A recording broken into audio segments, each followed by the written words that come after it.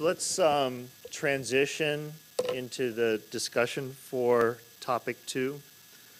And I guess I, I don't want to dictate this, but let's give it a little bit of structure and think about this relationship between what's happening in the genomics of disease within the NIH portfolio and the relationship between that portfolio and how that could guide NHGRI in thinking about a next phase for ENCODE and what it might look like and what that relationship is. And I could see in, in multiple areas. One was a lot of quote follow-up of um, of various signals. The other that Nancy fo- focused on is is really the, the role of, of transcriptional regulation at, in, in disease. And the other is several of us mentioned annotation. And I'll just seed this conversation a little bit. Is you know, there's several of us in this room have spent a lot of time over the last probably three years thinking about loss of function mutations and how we would leverage loss of function variants in proteins and mostly premature stop codons. Is, is, is, is that, can that guide us, not the loss of function variants in proteins, but can we think about loss of function in ENCODE sort of annotations or marks? Is, is, that, a, is that an analogy, loss of function in an enhancer, naturally occurring or engineered? And how we could use that in, in the understanding disease, just as a seed the conversation a little bit. Um, maybe I'll call on Daniel first, just to sort of pick up on that, and then Dana had a comment. Chairman. Again, I'm not going to sort of MC this. Hopefully, it's I think it's a fascinating idea, and I know Tuuli and I actually had some discussions yesterday about this idea of identifying these, you know, regulatory true loss of function mutations, which, you know, may be challenging. There are certainly people in this room that know far better than I do ha- ha- what proportion and what types of mutations within these regulatory regions would really result in these types of very severe effects on gene expression. But definitely in the in the way that we know that we can use coding protein truncating variants to really identify human models for gene inactivation in a way that's very useful, and I know you were involved in it, and we've got a number of projects in this area as well.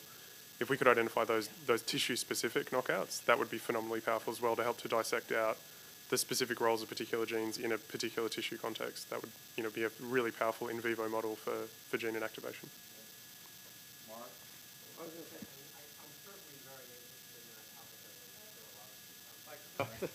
My fault.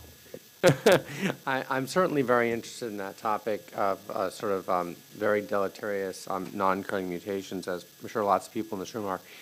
I, I think a better comparison, though, is not the loss of function, it's between synonymous and non-synonymous, in, in the sense that I don't think there's any mutation in, say, a TF binding site that's quite the same as a premature stop codon. I mean, I, I just don't, I don't think it's the same thing. I think there are things that disrupt the motif, and you can see they radically disrupt the motif, but I, I just don't think you're going to see something like a premature stop. Maybe other people will disagree with that. I don't know. Nancy, do you have a comment on that? I mean, what about small? What about deletions of enhancers? Well, but sure, fair enough. Exactly, I mean, I Yeah. deletions, that's the classic, right? Yeah. That's the part six, and the sonic cycle. uh, Yeah. So,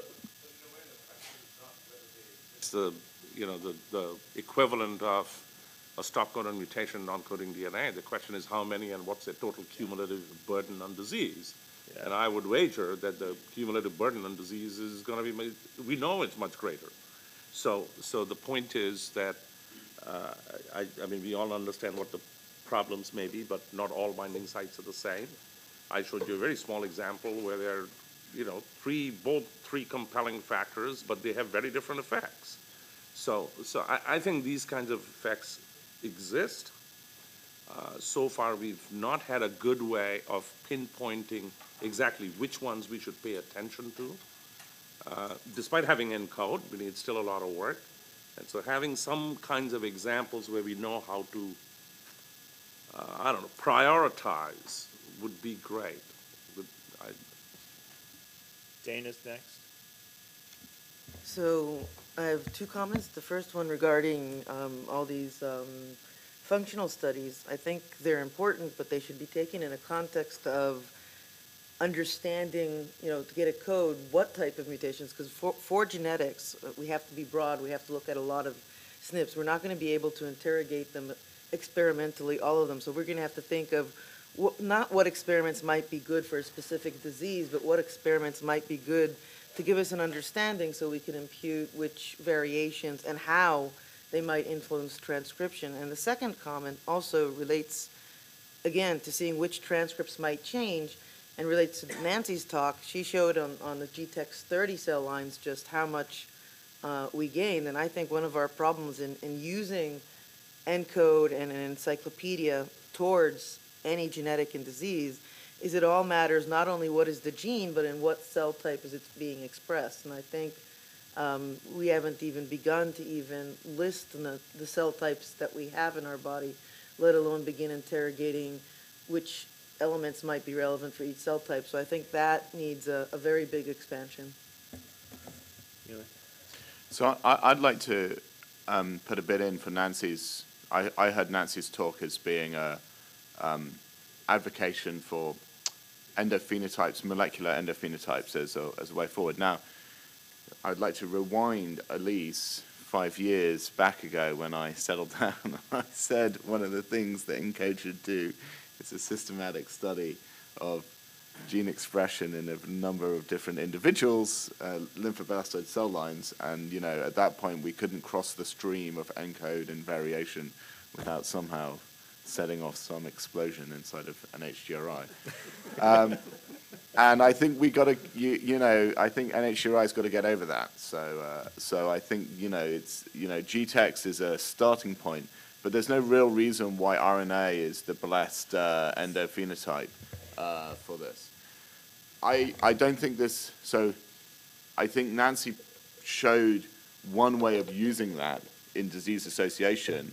I think when you use these things, you can also use this for a lot of basic biology as well. So you understand which enhancers are doing what and, and the links.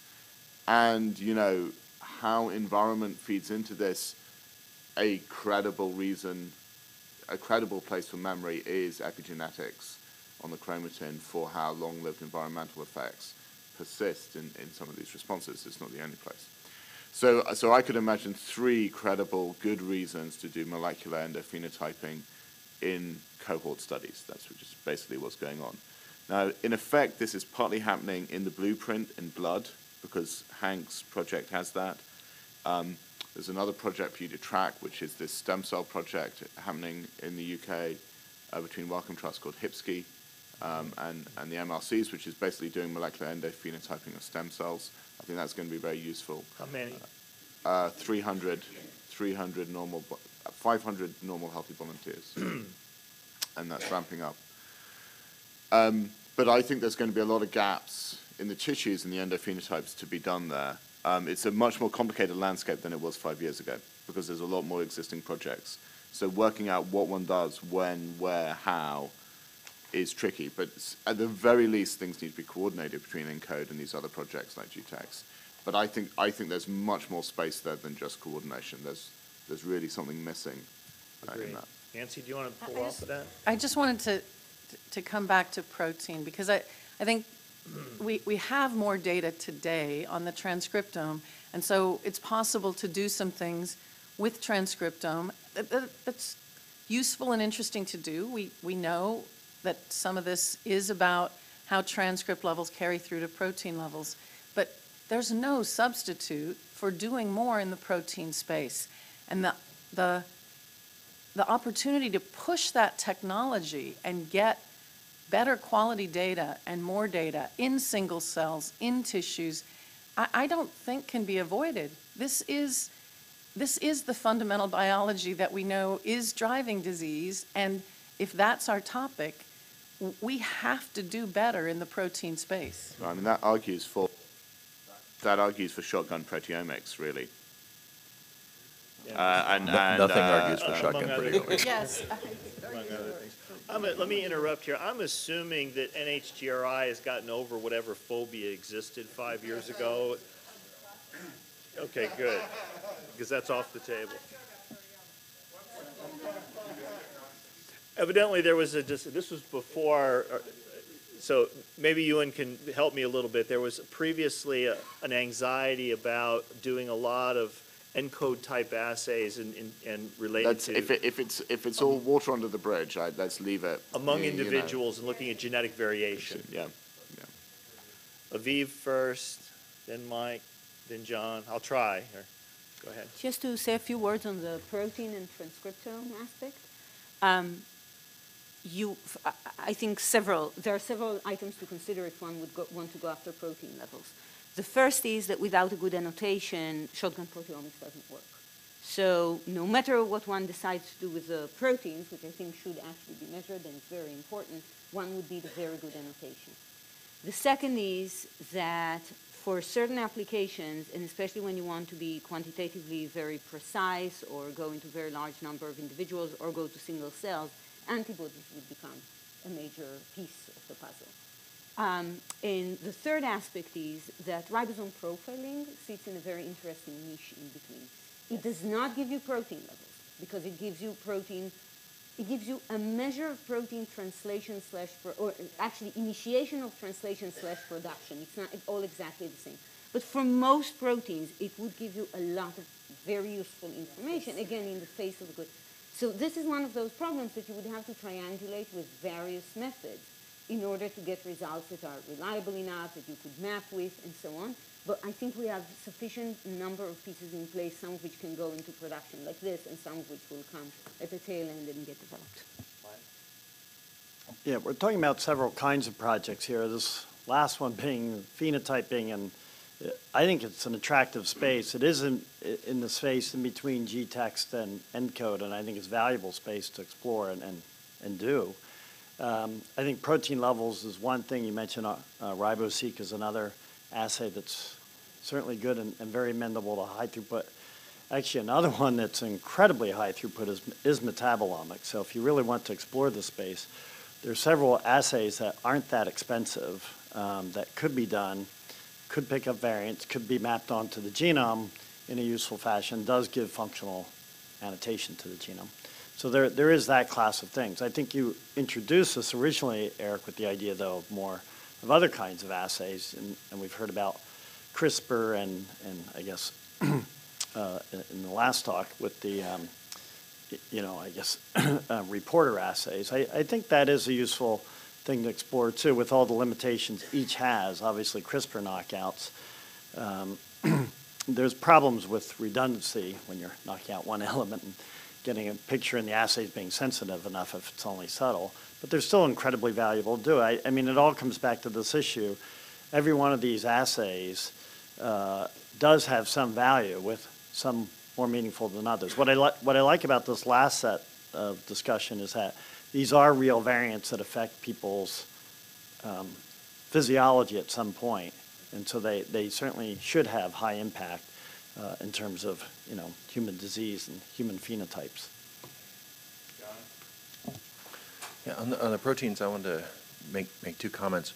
One, there is a set of protein measurements that directly intersects uh, the current type of ENCODE data. And that is, uh, that, that could directly intersect, and that is quantitative, accurate measurements of the levels of all the transcription factors, for starters, okay? If we could actually achieve that, because that is a variable that has a direct impact and readout on what the other assays are measuring, and, and it would also be incredibly useful in, you know, in, in a broader context. So that's something I think that's fairly concrete. The other thing I want to raise, and this is something I was going to bring up yesterday, um, and this is this question of what are we not measuring, and and what is the role of the ENCODE catalog in determining the things that get measured. And so I was just at this meeting um, uh, in Monterey that was uh, kind of a celebration for uh, uh, Goldstein and Brown's you know Nobel Prize from, from 30 years ago, and there were a litany of just amazing talks uh, on finding um, you know various aspects of you know starting with uh, with disease phenotypes and then and then coming down and, and unraveling the molecular basis. And one of the amazing things that came up in, in one of the talks is the fact that there is a class of proteins in the genome that are short peptides that are parked inside long non-coding, supposedly non-coding RNAs, and these have, turn out to have an incredibly important role and they're not annotated systematically in the genome because they fall below the false discovery threshold that was picked for ORFs. And, and here they are, they found them, and, and, and you kind of wonder, you know, these things are 20 amino acids, 25 amino acids. You kind of wonder how much more of that kind of stuff is out there that's in- incredibly important when you find it, that we're just not part of the catalog at a really basic level. And, and I think that, again, just kind of this general topic, that if we don't know it, we can't go and measure it, uh, has to be, you know, considered. Other comments on this thread? Aravinda? You know, there, there are obviously many, you know, many excellent ideas. I mean, I, I'm just gonna be very pedestrian for a minute and ask everyone to think, what is it that we can do in the next few years with all these literally thousands, probably now tens of thousands of variants with respect to many traits that we've already mapped? And, and in, in some sense, um, you know, it is calling success and moving on. But we need some, I mean, beyond the basic understanding of what ENCODE and what all these elements do, uh, there should be some attempt to sort of resolve the meaning of all of these non-coding variants that we've already found.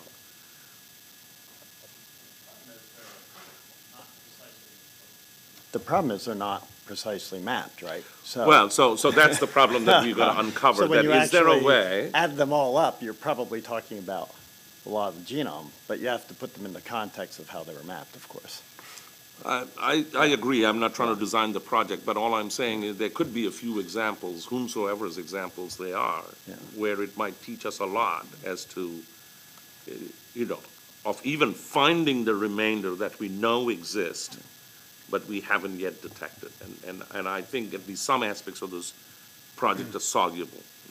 So are, are you suggesting that basically there's a parallel effort of selected deep dives that are intended to establish paradigms? Is- assays, enough basic data in, in, you know, in systems for which either the tissues have been looked at, enough, you know, enough has been looked at to then go and find a phenotype where that can be tested out. That is, what is the, you know, right now, the value of ENCODE is being tested by essentially random picks. And sometimes, yes, we know there may be a potential element, but the cell type isn't studied, or we don't know expression, whatever. But it may be helpful to have a few examples, could be in the human, could be in the mouse, where we try to figure out whether knowing the non-coding elements, not the full biology, we can not only map the identities of the variants we've already mapped, but find all the rest of what the heritability of that means. I really, you know, anyway, I, I think that's the problem we need to solve. Let me make one comment before we go on.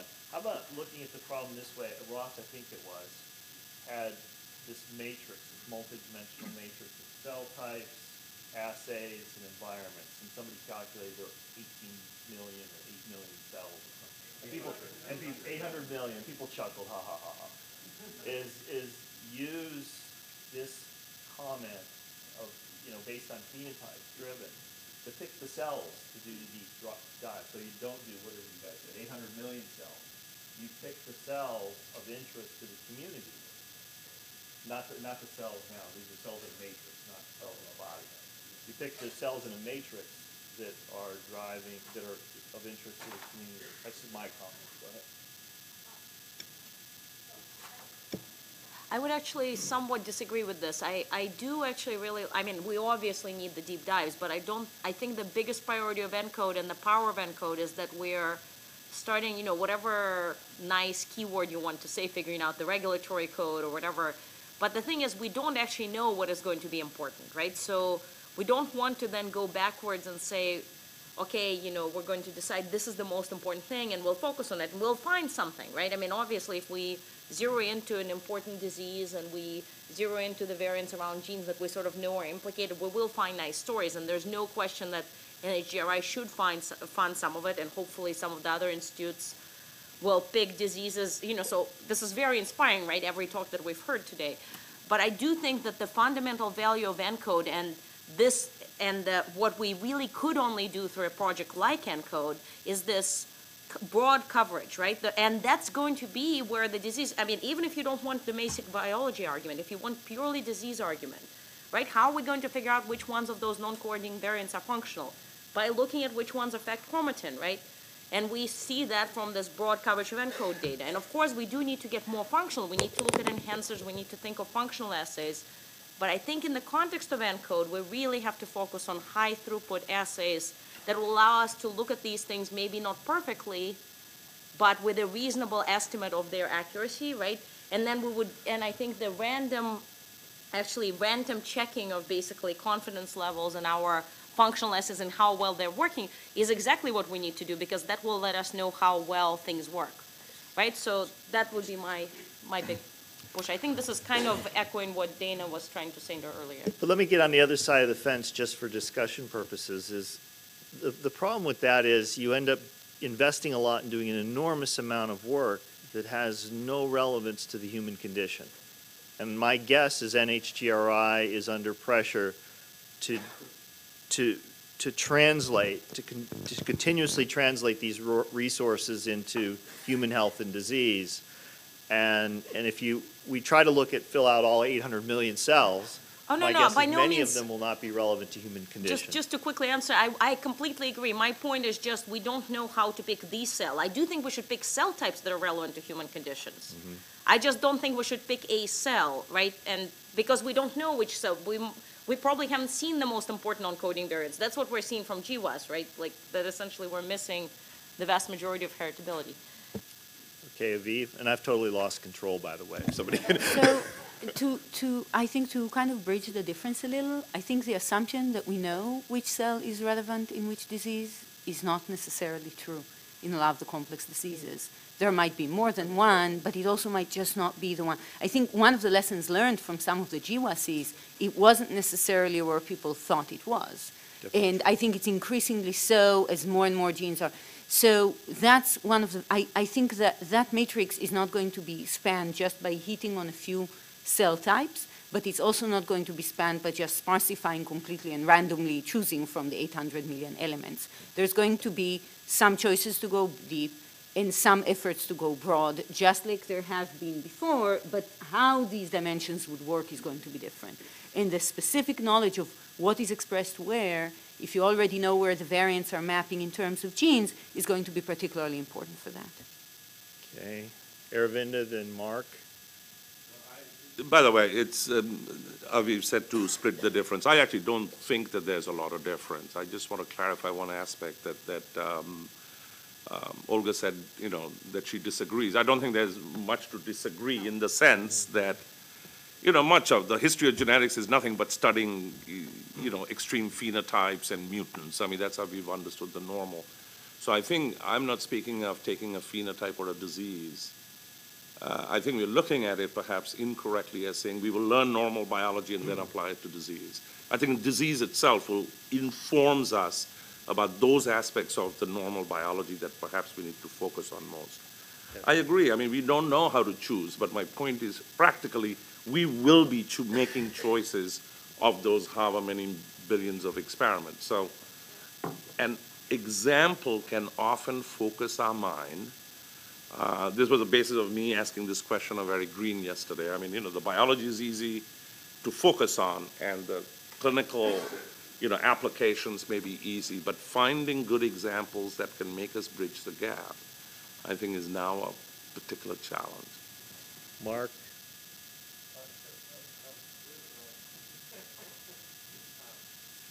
So I, I just want to sort of uh, come back to the thread that was uh, raised by, I guess, you and then Mike and Nancy were talking about um, how sort of ENCODE relates to um, human variation. And, you know, I, I just want to point out that what happens all the time when we talk about ENCODE annotation, you very much saw this in your talk, is you look at the annotation, then people talk about how it relates to disease variants. And so there's always this desire for this connection.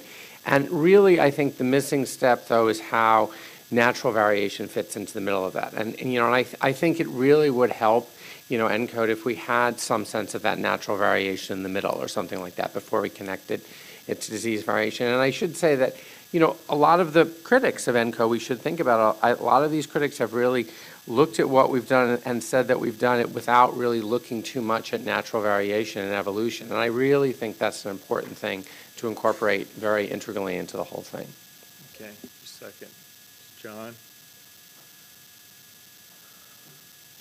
I mean, it seems to me, you, you, nobody, you can't avoid the variation issue, right? It's everywhere, and it's now emerged as a major application of, of ENCODE. But, but it seems the role of the project is to provide the framework for the interpretation of the variation. There's just too much variation out there, right? That's why, like, people were scared of crossing the streams and it exploding, right? Because there's just too much. And so you can't go and measure it all.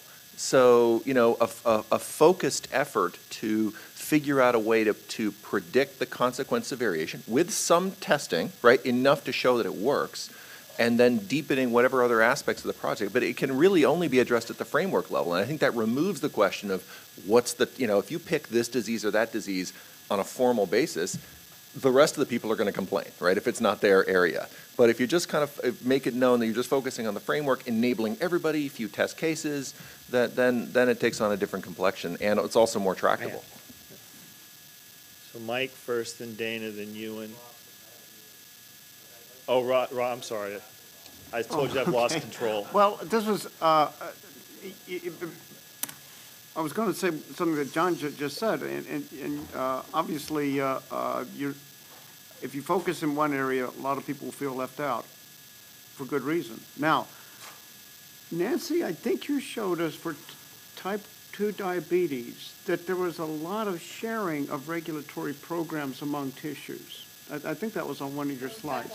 Yeah, oh, it's type, okay, and, and, uh, and I, would there be value in, if, we're- if if you do choose something to focus on, focus on these genes that, which are, are widely expressed, they're still regulated, and their regulation is important, but that, that, that- that the, uh, there are multiple cell types that are sharing these uh, regulatory uh, uh, paradigms.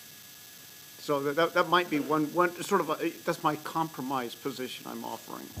Okay.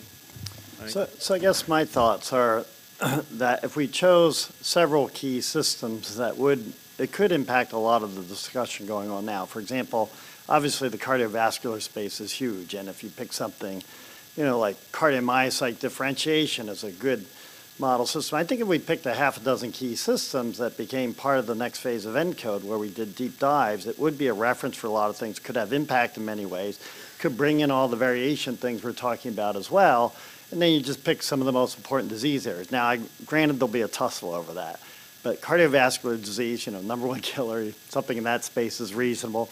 Diabetes would be great, although until recently I haven't heard about good systems for being able to measure things. So there's there's some cell-based systems that makes that, that part tricky. But you could, you know, one reason we picked liver was because you know liver diseases are out there, and and now you can get hepatocyte differentiation going, uh, you know, in iPS cells. So I think you could drill into a half a dozen of these key areas that ENCODE could do a deep dive on. Be a great reference for all the reasons that Olga and others said that would help the community. You could finally get dynamics in, which I think would give us some basic principles that would be really great. In this case, probably developmental dynamics, and that's fine. Um, and then I think also you can roll the variation in either in collaboration with GTEx or somebody else, and you know possibly add other mm-hmm. assays. I certainly would like to see that.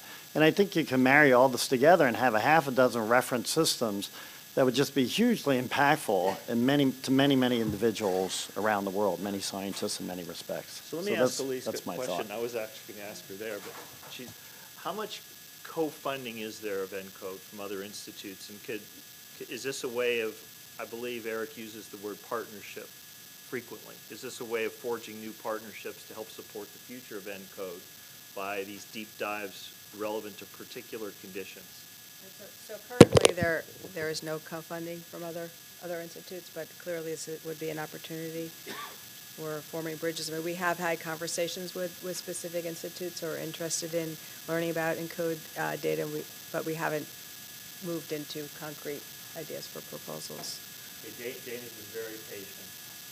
Unlike their typical self. Um, I actually want to make a new plug for natural variation, not in terms of we need to catalog it and characterize it for, for its own right, but we've been discussing a lot how we're actually going to see what's functional, what's not, the limitations of all these uh, functional assays. And natural variation is a very powerful natural assay to figure out what's functional and not functional, things that nature has already chosen, chosen itself. And we could look at um, impact without having to engineer ourselves of a lot of variation and where and how it impacts uh, different um, regulatory elements and um, different uh, epigenetic elements. And we can actually, that's, that's one way to assay it rather than all these sort of CRISPR-derived or whatever genetic screens. It also, another advantage of it is it, uh, nature chose these variations to do something. They're subtle. It's not a hard deletion of removing an entire element, so we can actually get quantitative modeling uh, in from such natural variation. It's a actually very powerful way to understand what these elements are doing. So I, I was just going to, we haven't in this topic um, mentioned model organisms, and I just want to point out that there are these huge advantages in trying to work out how, about building effective models in these organisms. They really give you opportunities that it's very hard to match in other species. So, you know, Drosophila, C. elegans, zebrafish, all of them give you the ability to do things at such incredible scale and with such incredible detail. So in C. elegans, the, the, the, the lineage is remarkable to leverage for this. Um, and I think we're going to, now whether this is part of an established program or whether this is just yet another argument to continue to do work in model organisms, I don't know. But there's a real, I I think many discoveries about how chromatin components interact and feed into gene biology at a conceptual level will be made in those species. And so I would want to see, I think NHGRI should, should make sure that the links to those leading model organisms are still kept in place. Great, so, uh, thank you. I think we're going to um, have to ourselves on time here because we have a really packed schedule before everyone has to leave. So um, I think also that during the discussion, right after lunch, we're really going to have to get concrete um, in terms of some of these recommendations. And I am seeing some themes already between the different topics, so I think it's, it's going to be very feasible. But I want to thank all the speakers this morning. Um, We're going to have a quick coffee break.